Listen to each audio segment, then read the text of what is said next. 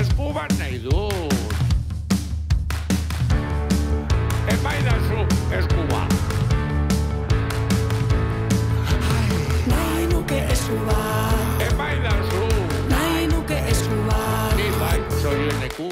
Gure ustez asko dago ospatzeko, asko baikara euskaraz bizi garenak edo euskaraz bizi nahi dugunak eta argi dugu kontziente gara euskararen egoera ez dela guk nahiko genukeena, egunero topatzen ditugulako trabak euskaraz bizitzeko, baina gure ideia nagusia eta zabaldu nahi dugun ideia nagusia da heldu dela garaia ba, e, talkatik eta beti er, e, talkan eta resignazioan egotetik e, pausu bat eman nahi dugu eta erakutsi nahi dugu euskara etorkizuna dela eta etorkizunera begiratu nahi dugula, oraina ere bada noski eta beraz ba guk esaten dugu hori e, resignaziotik esperantza aktibora e, salto egin nahi dugula eta hori erakutsi nahi dugu e, herri mobilizazio erraldoi honekin. E, hau sortu zen, e, hor dago, zonifikazioari hor dago ekimenak tuteran egin zuen manifestazio jendetsu baten ondoren, han ikusi zen, ba, agian gara egokia izan zitekela manifestazio zabalago edo mobilizazio zabalago bat egiteko, Nafarroa oso hartuko zuena, e, ikusi zelako bagian momentu egokia zela mm, urrats bat egiteko.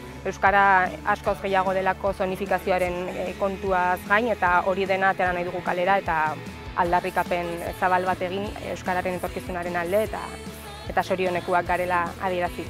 E, noski nola ez du izango Nafarroan etorkizunik, asko gara Euskaren alde mugitzen garenak eta herria atzean da, Euskaren atzetik dagoen bitartean izango du etorkizuna, ez? E, irulegik egin duena izan da erakutsi e, baietz Nafarroako hizkuntza zela, e, beste batzuek esaten duet, dutenaren kontra, ez? Orduan horrek e, eman diguna izan da indar gehiago e, gure bidean jarraitzeko.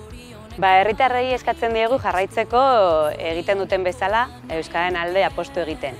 E, bizitzeko euskeraz, e, disfrutatzeko euskeraz eta izateko zorionekuak gu garen bezala. Eta administrazioari, ba, administrazioari eskatzen diogu ba, eskubideetan aurrera egitea, errespetatzea euskera, sentitzea euskera Nafarroakoa dela, eta gehien bat entzutea herritarrok esaten duguna eta ez oztopatzea gure bidea.